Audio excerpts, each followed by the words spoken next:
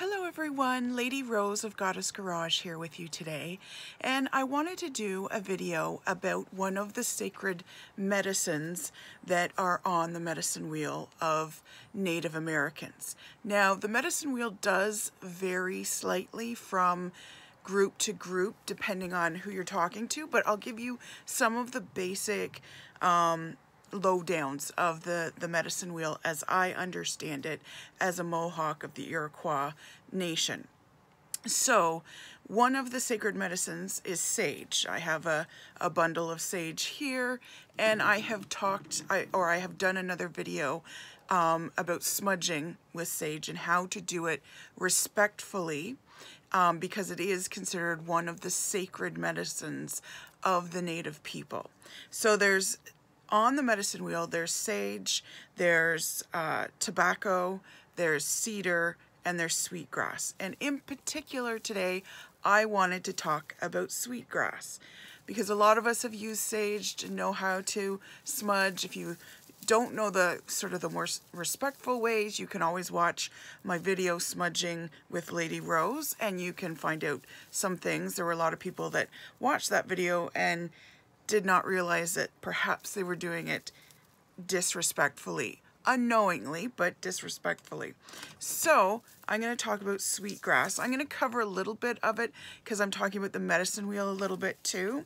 Um, but I, I don't want to focus on that. So I want to focus on sweetgrass. First of all, I love the smell of it. um, when you're walking by, and it lasts forever, right? Um, so when you're walking by it, when you have it hung up, and sometimes people will hang it in these long braids or they'll keep it in circular fashion as a reminder of the medicine wheel. Um, but it smells good and it keeps its fragrance like forever. It never fades or anything like that. And it smells, well, sweet. It smells a little bit like vanilla like vanilla that's mixed with sugar a little bit. So it's got a very sweet smell.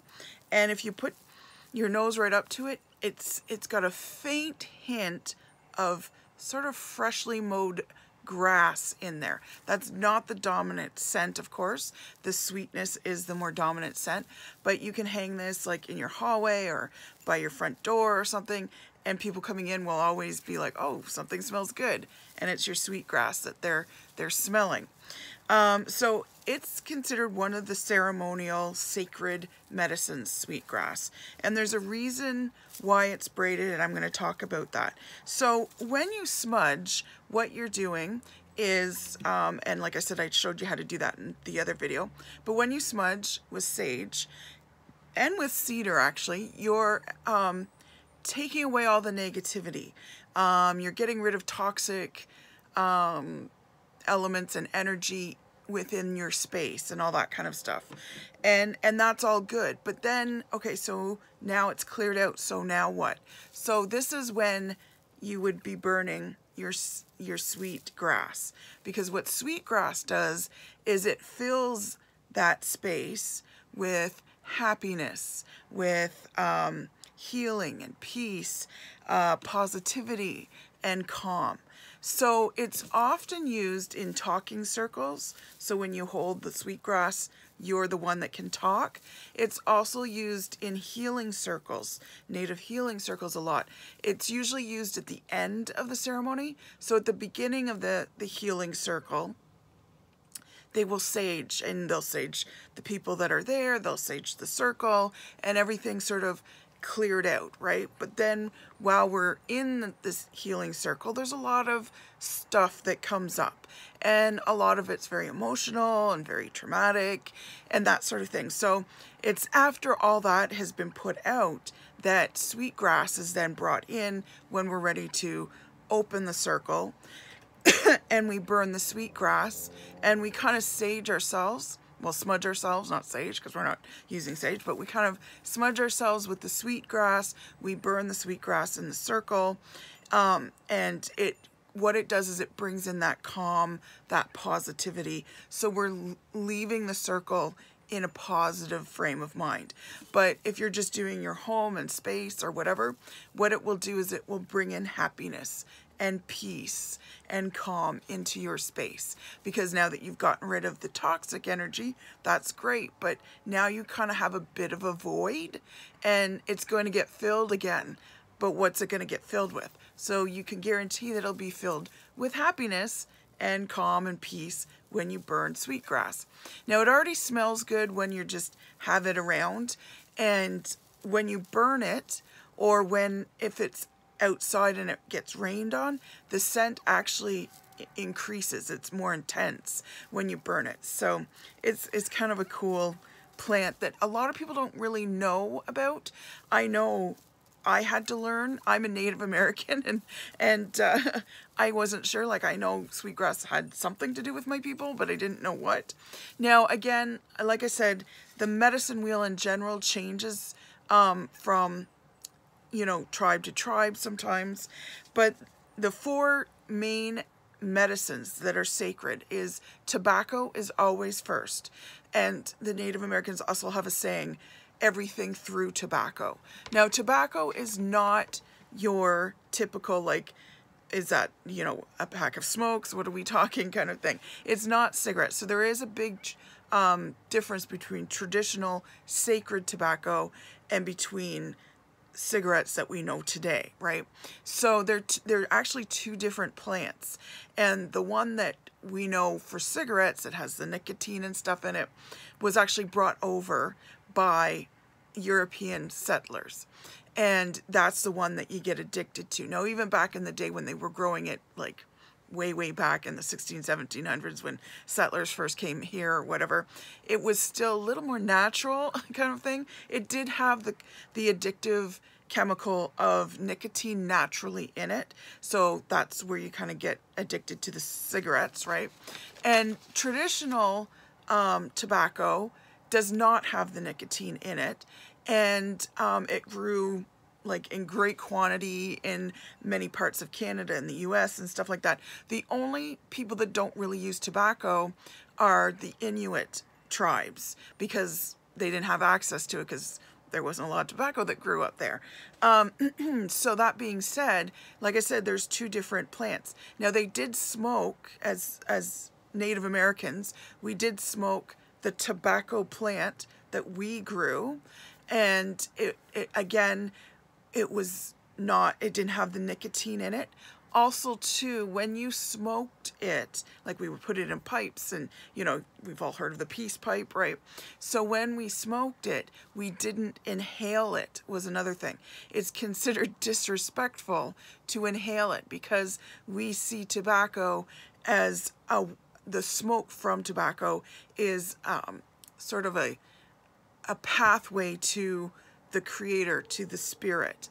And that's what leads us. So everything is done through tobacco first. So tobacco is always offered first. And it's not always burnt either. Like when you uh, go and harvest some plants, you'll sometimes, as a Native American, will sprinkle tobacco on the earth as a thank you to Mother Earth and to the plant that we're harvesting or whatever it might be, that um, we thank them for this food that they're giving us kind of thing, right?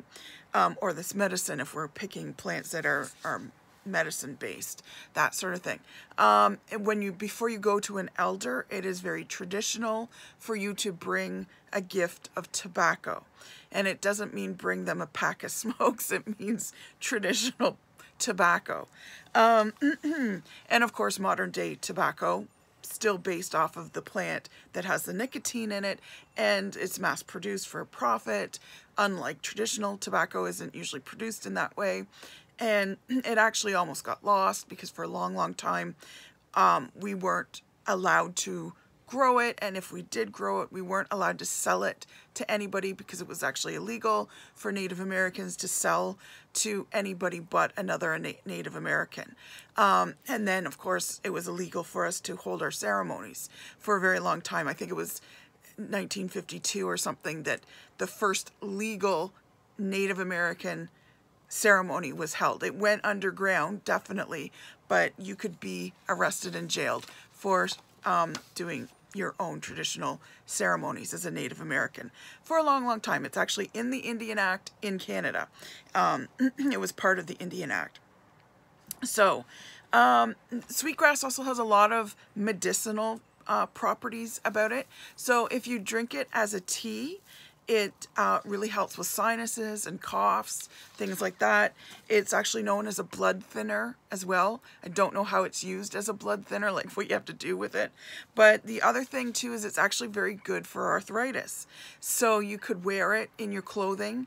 Um, many Native American women will have sweetgrass in their bras, and a lot of Native Americans will have sweetgrass in their shoes because it really helps with the aches and pains going up the legs and the feet and it keeps um, sort of a, a pain relief of legs and feet.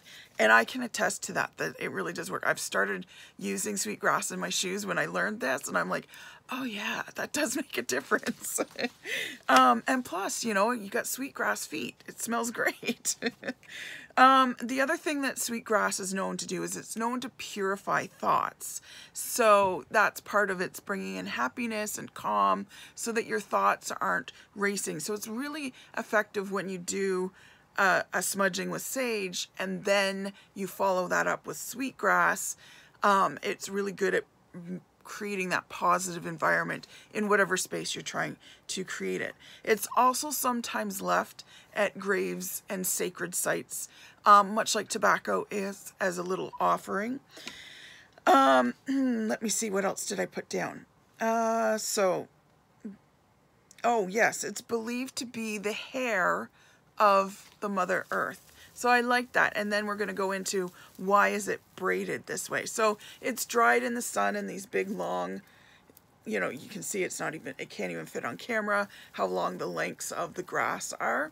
And then it's braided. Now it's braided for a number of different reasons. It represents a few different things. It's the hair of Mother Earth and it acts as a reminder that everything affects everything. And the medicine wheel goes into that um, as well. So it's braided for mind, body, spirit. That if one is out of balance, so are the other two. And it's all about creating that balance between everything and paying attention to the one that maybe is out of balance that will cause the others to get out of balance as well. Now, it's also a reminder. Um, there's three layers. So it's a reminder of things we need to embrace in our life and those are love, kindness, and honesty. So that's the three strands can also stand for that love, kindness, and honesty. The other thing that it reminds us of, because it's layered as braids, and when you braid it, you're you're sort of doing a meditation. There's songs for it as well. And the native people love like stories and songs. Like our creation story, for instance, takes three days to tell. Like we're, you know, they they say the Irish people have the gift of the gab. I'm half Irish and half native. It's like, so I'm doomed. That's why my videos are so long, because I just like to talk. and I could keep talking. And I know when I'm on the phone with my friends or whatever, or when I'm doing a video chat with someone, it's such a long goodbye, right? It's always like, so take care, be safe, love you, bye. And, and I could go on and on. It's usually my friend that has to cut me off. so I take no offense when that happens because I know, yeah, I'll just keep going. Um, like, like I said, our creation story takes three days to tell. Just for the planting ceremonies of tobacco, there's 230 songs to sing for that. I know when I was on my farm, um, when I butchered my turkeys or my chickens, I always sang them to the other side, right? And I would just keep singing until um, I knew they were on the other side, until, you know, the butchering was done and the it had bled out and that sort of thing. So it's like, yeah, so, you know, we do a lot of these stories and songs and stuff. And um, yeah, it's kind of weird how we just, we go on and on about things. Anyways, so the other thing that the three layers um, do, like I said, when you're braiding it, we're often sort of in a meditative state. At least that's where you should be. I mean, I'm sure there's some chit chat and gossip that happens too, but normally speaking, it's a, supposed to be a sacred kind of activity. And it reminds us that everybody and every situation, there's multiple layers to it, just like with sweetgrass. And even though we might know one layer, don't assume you know about that person or about their situation or about any situation. Always be open to seeing the other layers that are there. So sweetgrass is a good reminder of that. Um, I like to hang some in my office. I like to hang some near my door just as a reminder when I'm coming and going from my home that um, there's lots of layers to different things and to be open to seeing those layers and knowing that they're there. Even if you can't see them, your view of a situation isn't always the only one, isn't always the fully correct one, that sort of thing. So that's what sweetgrass kind of brings in in a very happy, positive way.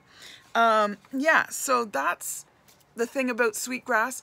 I'm going to talk more about cedar and tobacco. I'm hoping to do some videos on that, but this is the video right now that I'm doing for sweetgrass. Sweetgrass, where it is on the medicine wheel, is, um, excuse me, is it's in the northern part of the, the medicine wheel. Now, I don't want to go fully into the medicine wheel because that's going to be another little bit, but it's in the northern hemisphere of the medicine wheel. So the medicine wheel, you may know like the black, red, white, yellow um, circle that's divided into four corners, circle that's divided into corners, but it, it represents each of the directions. So north is one of those directions, and that's where sweetgrass lies. So just giving you that little bit, I'll talk more about the medicine wheel in another video. Thank you for joining me and I hope you learned something. I hope this helped and go out and get some sweetgrass and enjoy it. It's beautiful. It smells amazing. Take care. Bye.